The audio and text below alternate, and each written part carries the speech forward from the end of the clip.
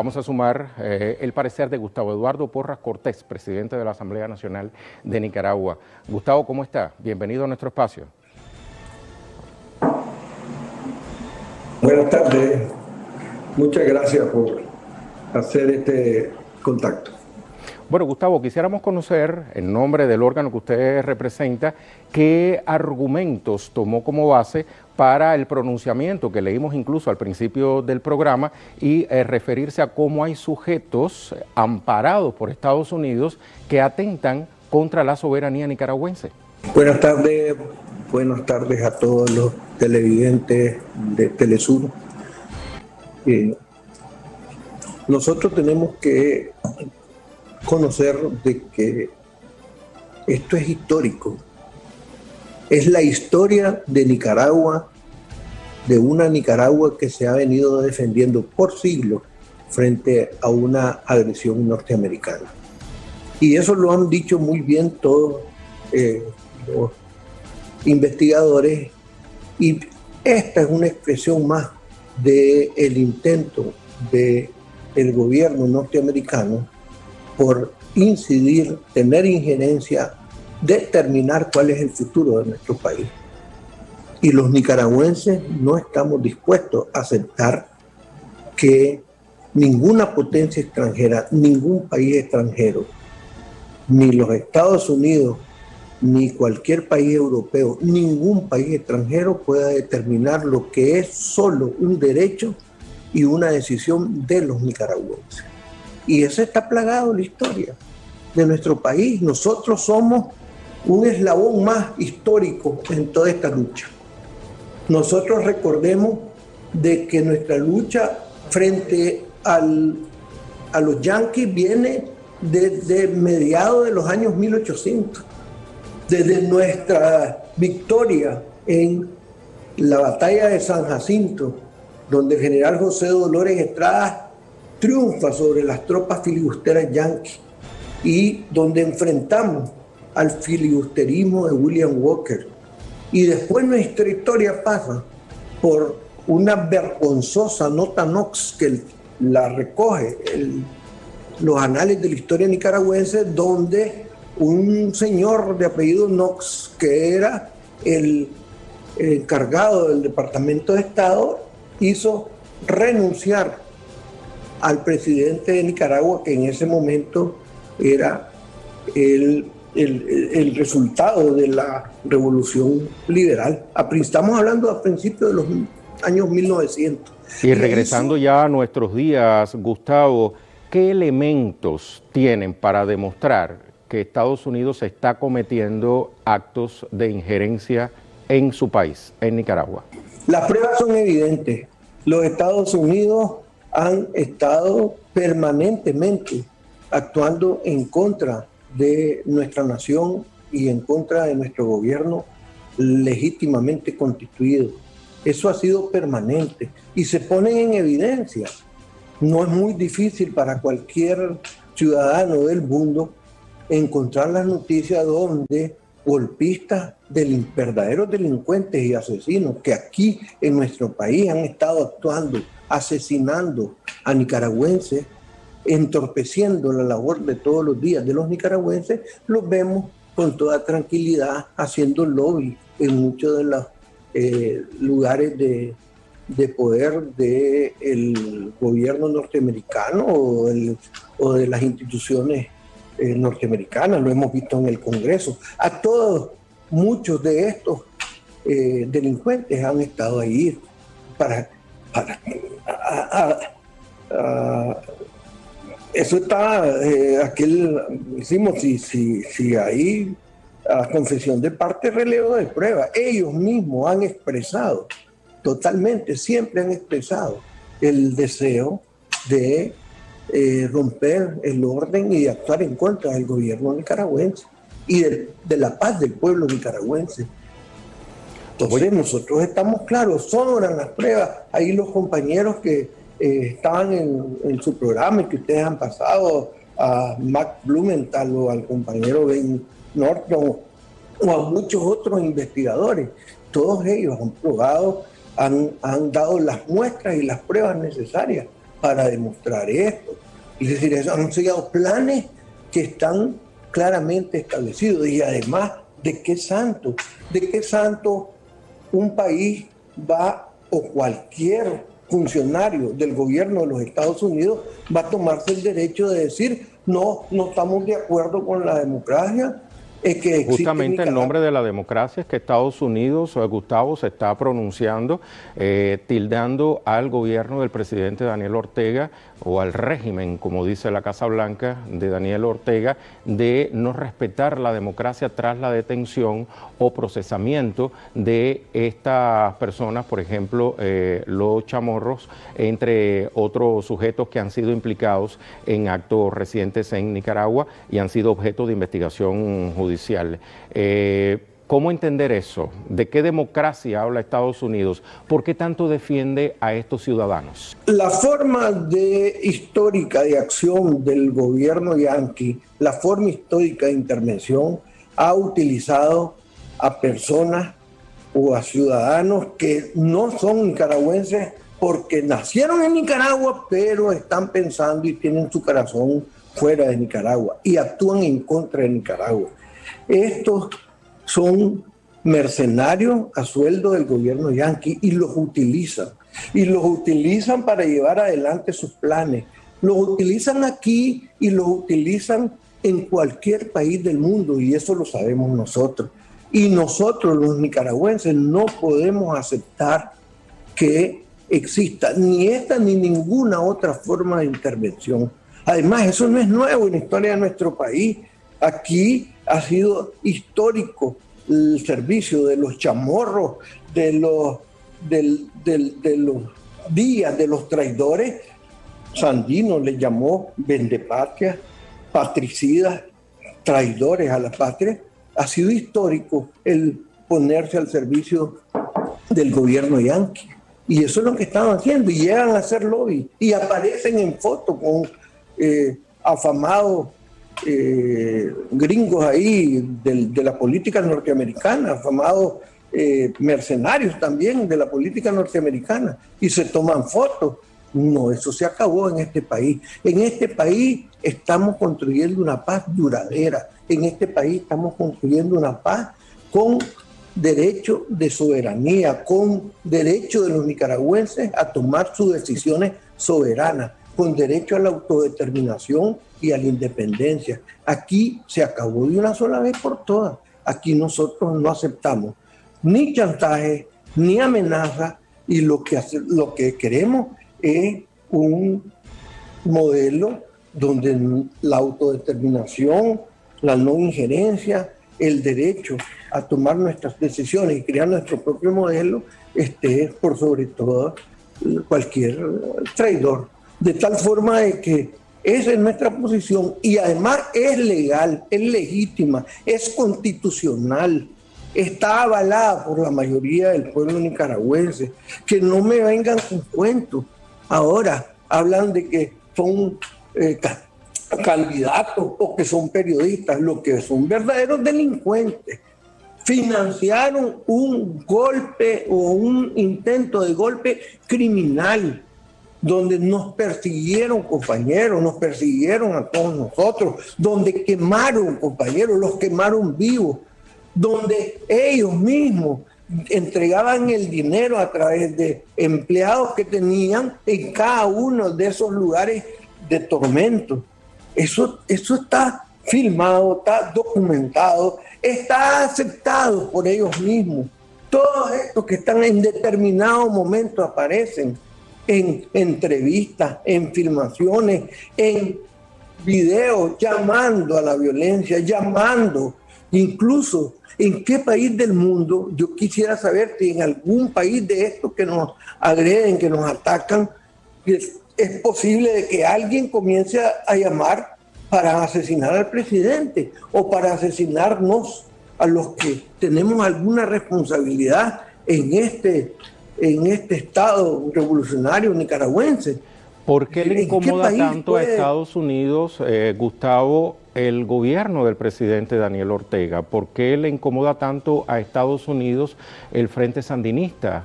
el actual Ejecutivo, el Estado nicaragüense, si usted bien lo ha dicho, es eh, constructor de la paz, vela por la paz, ¿por qué le incomoda a Estados Unidos?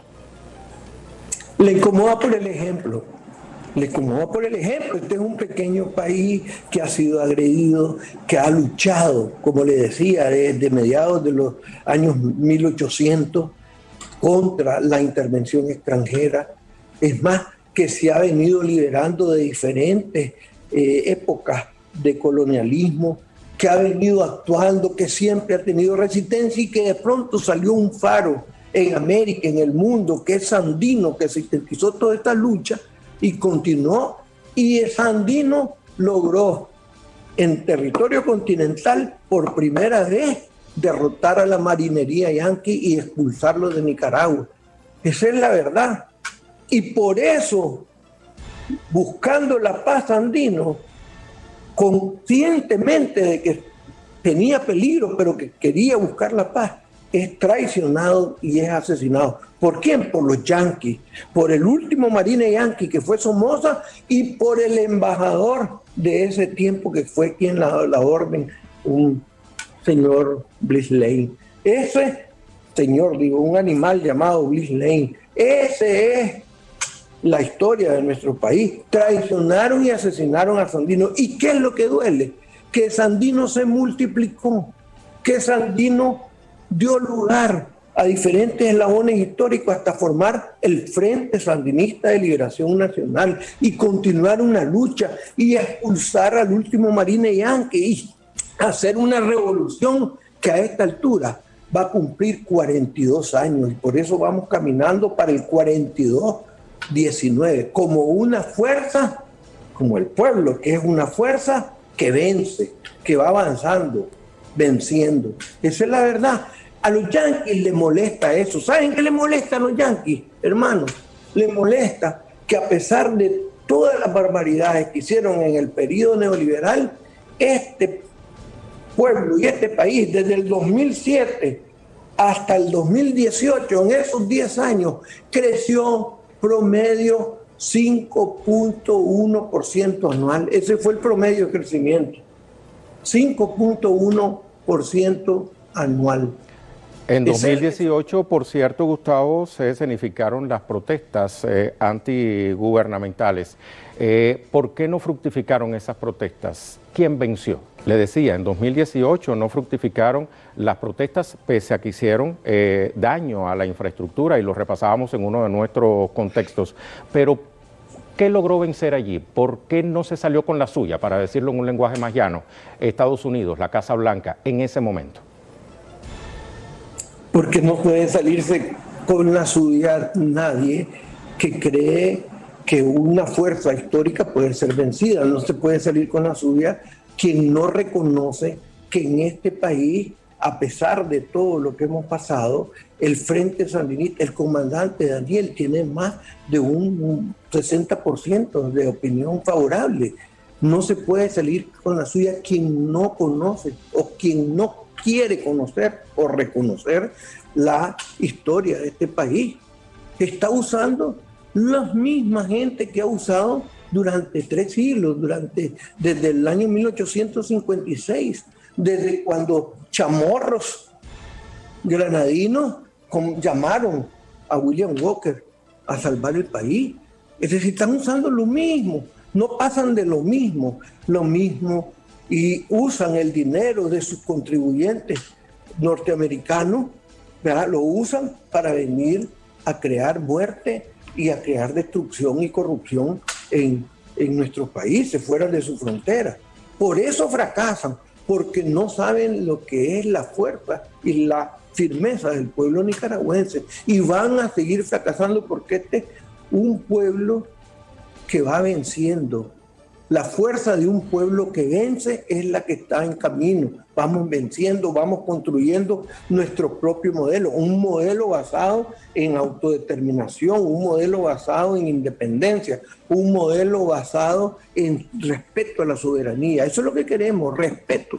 Eso es lo que queremos. Y ahí vamos construyendo este modelo y como les decía, más allá de cualquier pronóstico, nosotros tenemos proyectado un crecimiento mayor del 3.5% para el presente año. ¿Y sobre la base de qué esfuerzo? Del, del, esfuerzo del pueblo nicaragüense, amante de la paz y un pueblo dedicado a trabajar, sobre el esfuerzo de esa economía familiar, sobre el esfuerzo de ese modelo de bien común que estamos impulsando. Esa es la verdad y van a seguir fracasando. No sé si ustedes sabían de que en elecciones anteriores los embajadores gringos aquí, en este país, los embajadores gringos andaban repartiendo eh, y haciendo eh, proselitismo político por sus eh, candidatos. Aquí, ahí están filmados. Eso no lo permite nadie en, ninguno, en ningún país. Imagínense que alguien, representante de otro país en los Estados Unidos, hubiera hecho proselitismo político en las últimas elecciones. ¿Qué van a permitir? Nada. Entonces ellos tienen que saber que así como ellos exigen respeto en su territorio, los países y particularmente Nicaragua exigimos respeto en nuestro territorio. Y nosotros que no nos vengan con cuentos de que, que son candidatos, de que son periodistas, son verdaderos traidores que se prestan para hacer sufrir al pueblo nicaragüense y eso se acabó, eso nosotros no lo podemos aceptar. Hablando de los proyectos eh, a los que usted se refería, Gustavo, que pretende el Ejecutivo nicaragüense seguir emprendiendo, seguir eh, adelante. Eh, denos una noticia, denos una primicia sobre la base de su experiencia. ¿Qué pudiera ocurrir en noviembre próximo en Nicaragua? ¿Qué se vaticina? Nosotros en, lo, que, lo que va a ocurrir en noviembre próximo es que el pueblo de Nicaragua se va a manifestar masivamente en favor de su eh, opción, que es el Frente Sandinista de Liberación Nacional y de su eh, candidato, que es el comandante Daniel. Eso es lo que va a ocurrir en noviembre próximo. Masivamente va a haber. Y eso lo querían evitar con el intento de golpe.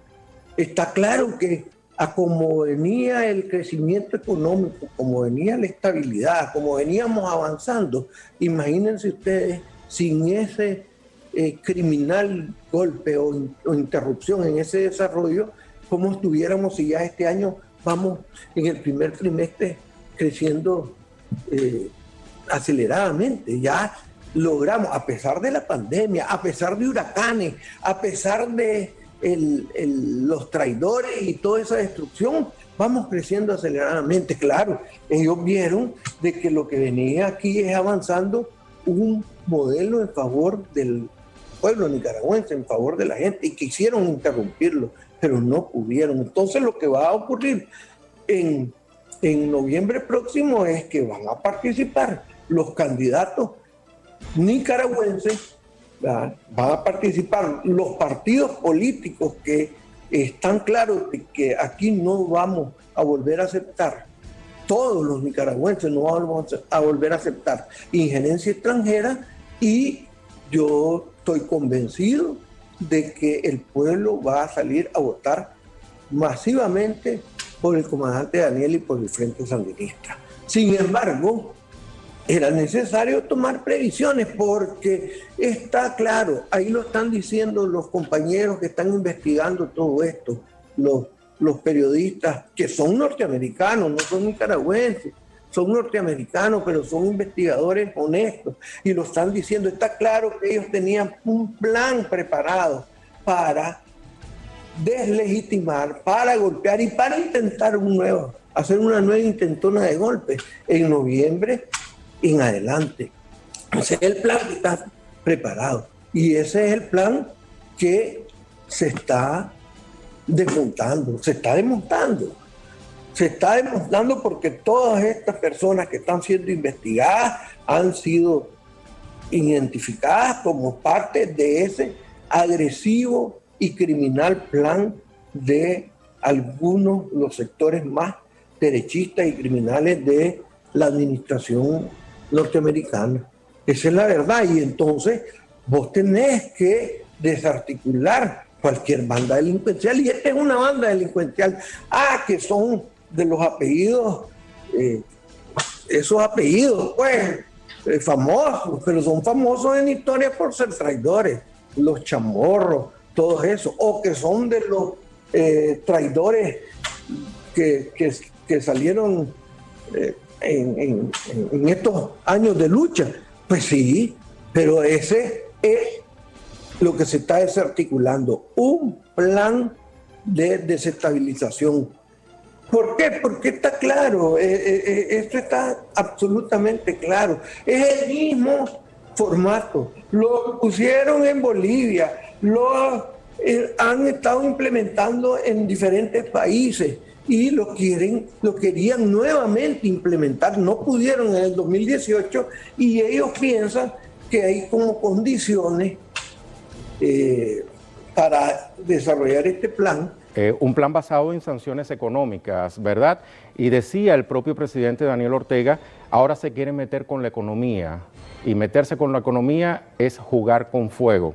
Nos preguntamos, ya para concluir, ¿cuán preparado está el gobierno nicaragüense para de aquí a las elecciones eh, tener, digamos, el contraataque eh, a este plan eh, que pretende herir la economía nicaragüense? No es el gobierno, yo recientemente estuve viendo y yo estoy de acuerdo con el compañero William Grip. Y esta contradicción es entre Nicaragua como nación, del pueblo nicaragüense y el gobierno.